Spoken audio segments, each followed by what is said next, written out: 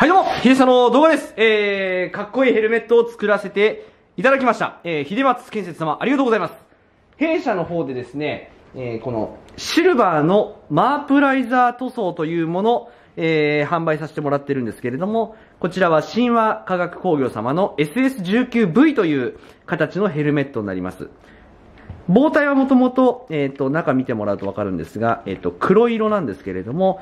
この黒に、えー、銀色の塗装をして、えー、まあ、サランラップみたいなものでこう剥がすとですね、こういった模様になるんですけれども、これをマープライザー塗装と呼んでます。で、この銀の塗装っていうのをずっと販売してたんですけれども、まあ、これではなく、まあ、金でやってほしいということで、えー、黒棒体に、えー、金色の塗装をして、えー、その同じ処理ですね、をやると、こういった感じでかっこいいヘルメットができると。非常にキラキラしててですね、かっこいいんですけど、こんな感じですね。まあ今、社長様から許可をもらって、えー、ぜひ動画で配信してほしいということで、えー、こんな感じでできました。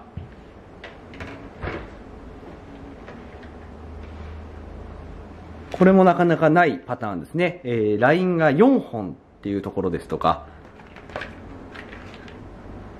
まあ、こんな感じで作らせていただきました。えっと、このマープライザー塗装のヘルメットに関してなんですけれども、えっと、これはですね、え正面の色ですとか、こういった印刷部分ですね。えここは一色印刷のみの対応となります。えー、お気をつけくださいませ。まあ、そんなわけで、えー、秀下のヘルメット製作のご紹介動画でございました。えー、まあ、LINE アットで、えー、注文受け付けますので、もしよかったら説明欄の LINE アット、えー、URL からですね、え登録していただいてご注文いただければと思います。えー、そんなわけで、秀さをよろしくお願いいたします。